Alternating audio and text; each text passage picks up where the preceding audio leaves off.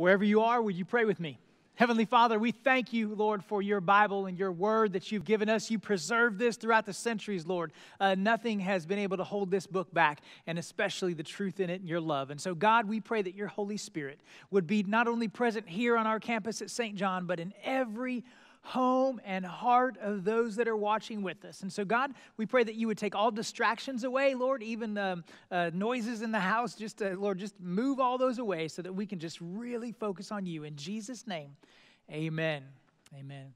Boy, it is so good to be with you today. I had one of our uh, band members say a while ago, he says, Wow, this is the largest group of people I've been around of people I don't know right? You go to the grocery store and there's a lot of people, but to be here and just have a few, it's like, wow. And I really feel that I'm with hundreds of you right now, and you're with me. Uh, we are with the Lord Jesus. We're going to spend some time in His Word. If you're uh, with us for the first time, we're in the middle of a sermon series called uh, Love is a Verb Too. And today, we're going to be talking specifically about the idea that love accepts. Love accepts.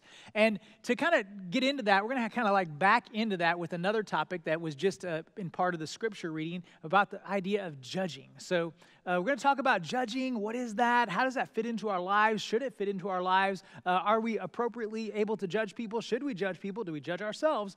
And then back into the idea of what it means uh, in, in, in like tangentially with that to lovingly accept somebody.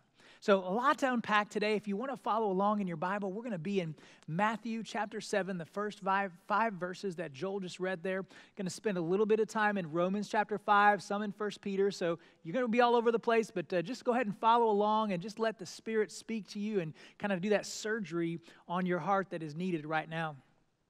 I just want to address uh, the elephant in the room. You know, these are kind of uh, anxiety filled times.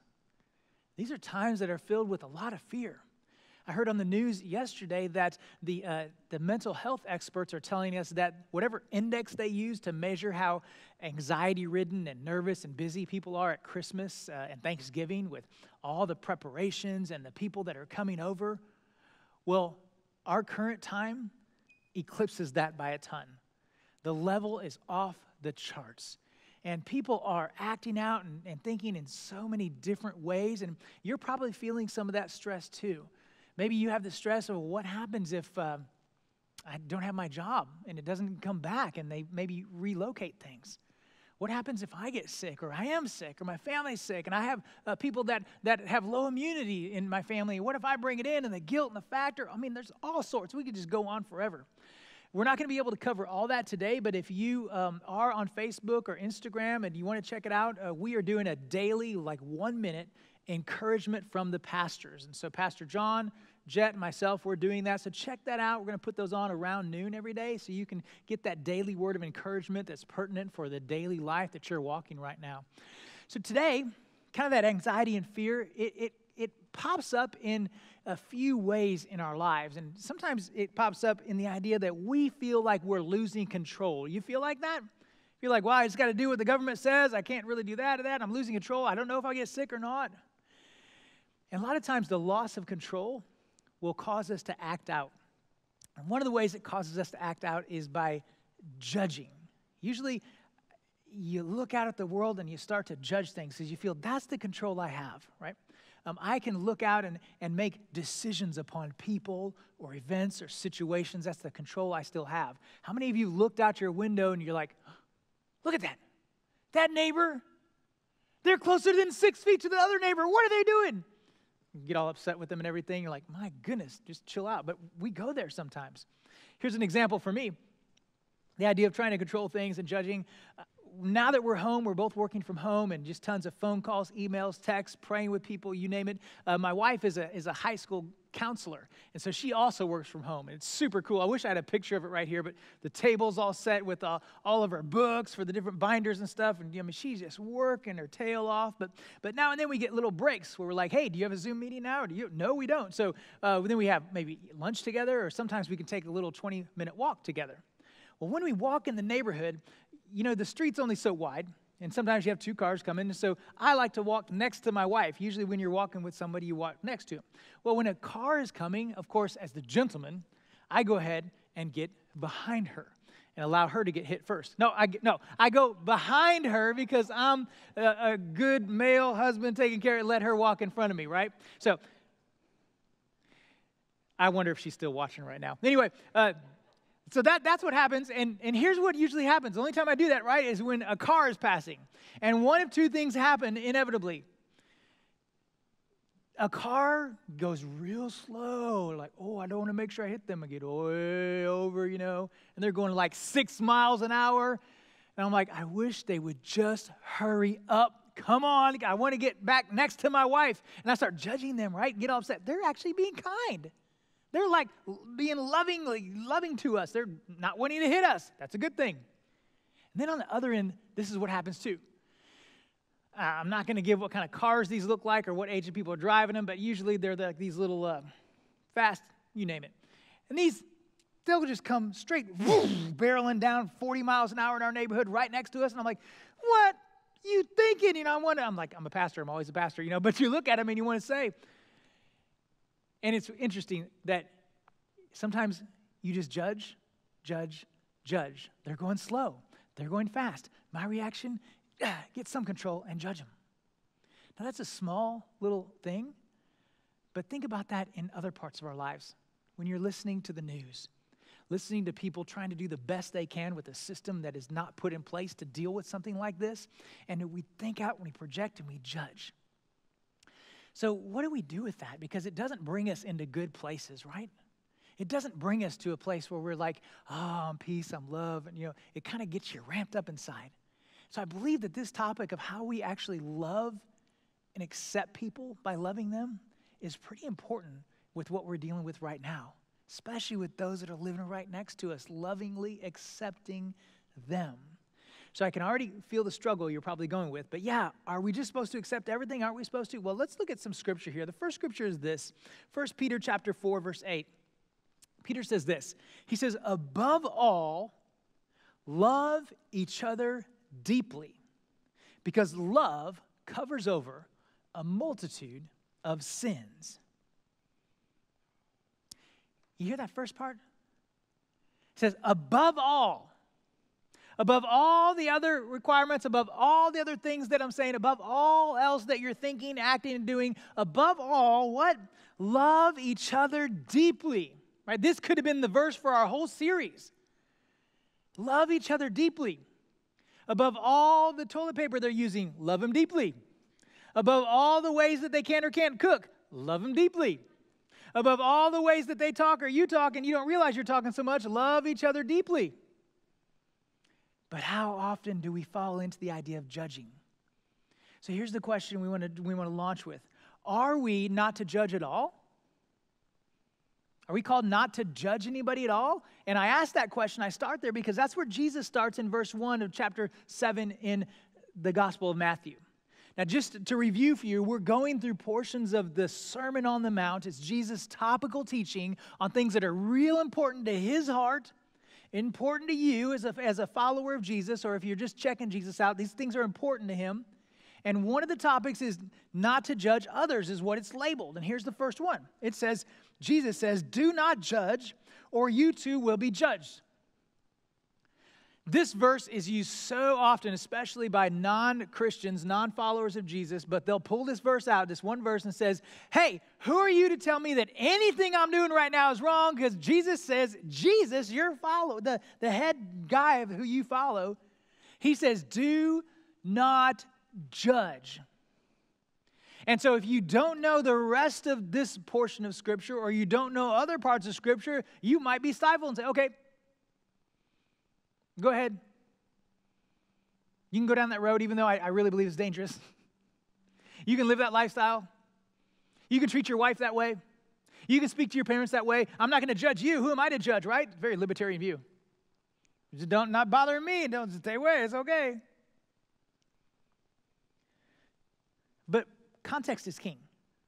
Context is king when you're reading scripture. You have to remember this don't take one verse or a couple verses or just a portion. You have to look at the totality of Scripture's teaching, of Jesus' teaching, and of the, the writing there. And here's verse 5, the, the bookends of our, of our text for today. Jesus jumps all the way down after saying, Hey, don't worry about the, the speck of dust in your brother's eye, but you got to worry about the plank that's in yours. He says, This, you hypocrite.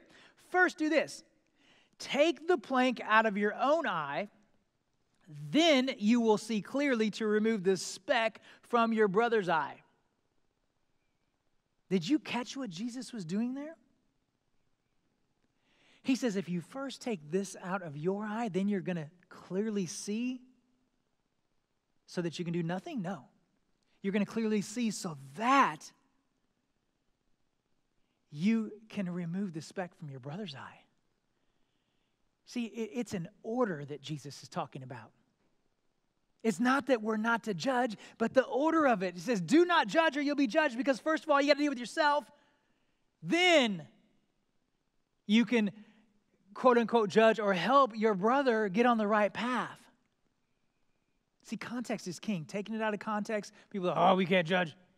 Well, well, there is some judging going on. And here's another thing that we had to struggle with. Um, people struggle with, well, am I only to, uh, to not judge, but reprimand? Am I, am I only supposed to, to worry about people that are inside the church as opposed to outside the church? I've had people say this, well, you know, we can worry about those who are in the church, but everybody outside the church, just let them go hog wild. Now, just saying that doesn't sound right, but people, they'll say that. Well, here's some verses that deal with that. And I'm going to give you two sentences that are opposites, but they agree. Don't you love that? When our teachers would do stuff like that. These sentences are opposites, but they're both true. Like paradoxical, right? Here you go. There is a difference between those inside the church and outside the church. There is a difference between those inside the church and those outside the church. And here's scripture on this. It's in Second Corinthians chapter 5. Paul says this. He says, What business is it of mine to judge those outside the church? Are you not to judge those inside? Now remember, we got to look at the totality of scripture. So we take part of it and say, okay, um, Paul is encouraging right now at the church in Corinth and maybe in our you know places you live. It's important to just start at the at the small stuff, the people inside your family inside your church. Like, I, I have enough to deal with right now. So, the business I have right now is just dealing with this. Okay, so that's, that's true. So, there's a difference. He made a distinction between those inside the church, outside the church. But let me give you this next sentence there's no difference between those inside the church and outside the church. Some of y'all are like, I'm turning this guy off. He's crazy. Stay with me on this. Stay with me, okay? There is no difference, and here's how. In Romans, another book in the New Testament, chapter 3, Paul, the same one who wrote Second Corinthians, the same guy, same guy, same mouth, same mind, same spirit, same heart, he wrote this. He says, For all, and in the Greek, guess what? In the Greek, all means all. He says, For all have sinned and fall short of the glory of God. Not just those inside the church, not outside, not, not different nations, not different. All have sinned and fall short of the God's glory, basically, of God's best, of God's design, of how God would say, This is the best for you. All. So I don't know about you, but I would take that to understand that everyone needs to wake up and realize there are things that are wrong, there are things that are right, and if we want to call it judging, call it whatever you want, but there's things that we need to be aware of that we need to stop doing or start doing, inside or outside the church, because God is calling us to something different and something better. And sometimes we have to make those, those hard calls, and we see it as judging, but it's a loving, hard call. Whew, there's a lot so far. Are you ready for the lovingly accept part? Okay, here's the judging part. Now we're going to go to, it's not really the antithesis, the opposite of it, but it kind of, it, it is very different, okay? So the judging part leads to what's called loving acceptance. And there's a process, if you look on your outlines, a process of lovingly accepting someone, and it begins and continues only with Jesus. You're like, how did I know he was going to say that? Because everything starts and ends with Jesus. But this is really a really poignant one right here. The idea that if you want to lovingly accept others, The only way to truly do that without building up resentments, without all these other baggage, is to start with Jesus. And here's why. In Romans chapter 5, verse 8, Paul says again, he says, But God demonstrates his own love for us in this. So if God wants to show his love for us, this is what he's done. While we were still sinners, Christ died for us. It, when we were still sinners, a little bit later he'll say, enemies actually of God. When we were totally against God, his judgment on us was this I'm going to send Jesus. While you are still a sinner, I'm going to judge you, and this is what I judge I judge that I love you, and I'm sending Jesus. And Christ died for you. Christ came so that the junk that you do, the messes that you get yourself into, the fear that you have, the anxiety, the enemies of God, everything that's contrary to how God thinks, believes, and desires, I'm sending Jesus to rescue you because I lovingly accept you. Notice how he lovingly accepts us before we have an opportunity to do anything that's going to please him. This is far out. This is amazing. This is unearthly, different than the way, the way that, that we normally think. So I want to camp on this word accept here for a moment. It's a word dekomai in the Greek, and it's used in a variety of different ways in the New Testament.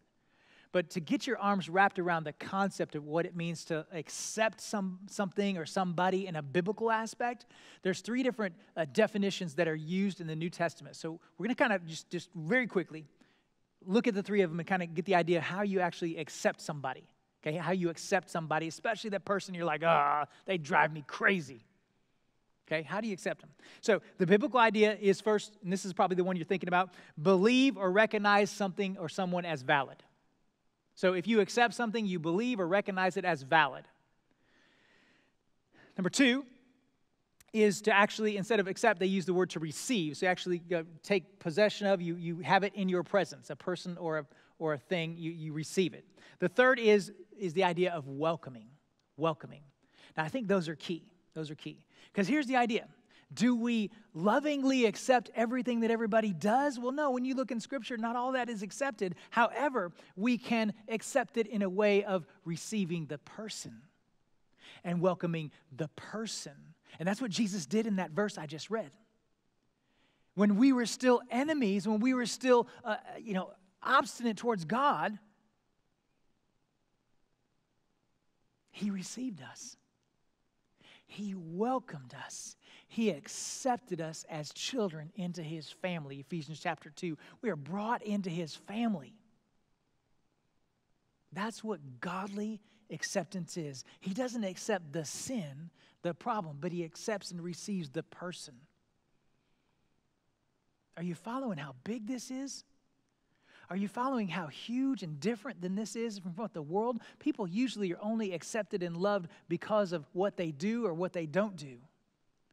And God is like, you know what? These are my children. All those presidents, presidents up there, whether they're Republican, Democrat, Missionary Antioch Baptist Church of the Brethren, whatever they are, they're my children. So, how can you love them? It begins with Jesus. And so, here's an approach, a process that Jesus has. The first one is this we aim at these three truths. The first one, lovingly accept, or loving acceptance starts at home. Loving acceptance starts at home. And what do we mean by this? Matthew chapter 7, verse 5 again. Remember that Jesus says, hey, if you actually want to be a part of like, you know, helping your brother take the speck out, the judging idea, loving them, receiving them in, how that works is first of all, you got to take care of your own inventory. You got to get what's wrong with you out first. And here's the idea have you ever heard that phrase that you can't give what you don't have? If you haven't taken care of business with yourself and God, and you haven't allowed God to just kind of judge your insides and say, you know what, God, I, I, agree with you. This is a bad part of my life. This habit has to stop. You need to take care of it. You need to get it out of here. And then if you haven't allowed Jesus to take that and then God to fill you with his love, you are stuck in a place of self pity. You're stuck in a place of, uh, of self doubt and really hating yourself. Some of you are there right now. Some of you have been there with the idea that I'm worthless. I'm nothing, especially to God. And Scripture tells us otherwise. So you start with yourself, allow yourself to be healed by the only one that can heal, that's Jesus. Allow yourself to look in the mirror and say, you know what, I'm loved. I'm accepted by the creator of the universe, my creator. He loves me, He accepts me. I'm starting at home, and then I'll be healthy enough to move forward. And the next thing you're going to see is this number two, the ultimate judgment and the one who accepts, that's Jesus. Look at this verse. In John chapter 5, moreover, it says, The Father judges no one, but has entrusted all judgment to the Son. I find this verse interesting because there's going to be a day that Jesus comes back and the Father's not going to be the one you know, that's judging, it's going to be the Son. And what is Jesus going to do on that last day when you are standing there, the gates of heaven? What's he going to do? He's going to say, you know what? This guy, this gal have, they have messed up. But I'm stepping in, I'm stepping in front, and look at them. The blood of my blood, the blood of Jesus, is flowing on them. They are forgiven. I lovingly accept them. They're coming into our heaven. They're in the family, right? The judgment is left to Jesus. This should give you great peace because the job of being judged is already taken. I, have often told you there's a huge difference between me and God. And here's the difference he never con- got confused in thinking that he was me. Because sometimes I get confused and think, that's my role, God. I'm going to judge, I'm going to take him down. They're gonna, they're gonna bow under my thumb. I'm gonna tell them how it is. And he's like, no, no, no, that's my job. You just laid the truth out, and that's the third point right here. Love people with the truth, with hard conversations, and possibly interventions. Love people with the truth, hard conversations, and possibly interventions. Here's the verse for that Ephesians 4. Instead, Paul says again, speak the truth in love. We will grow to become, in every aspect, the mature body of Him who is the head, that is Christ. Some of us will take on that judging role and we'll speak the truth, and it's not in love, it's harsh. That's just called being a jerk. But God says, hey, pray about this.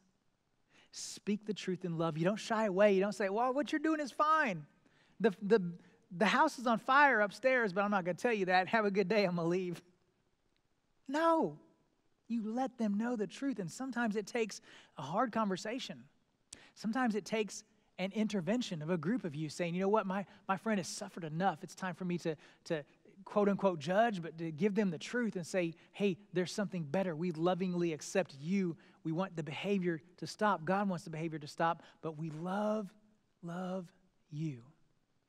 So, the wrestling question today, especially with all these people around you, if you're by yourself and you're watching all the TV all the time, all the news is this is where is Jesus calling you to show loving acceptance?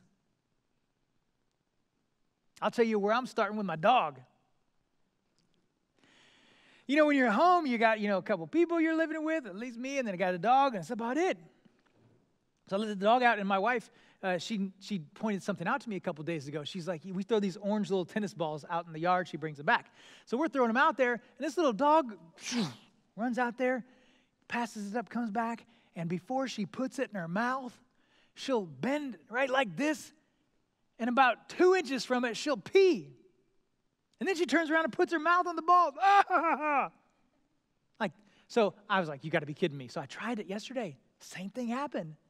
And I'm sitting there judging this dog. I'm like, you are sick.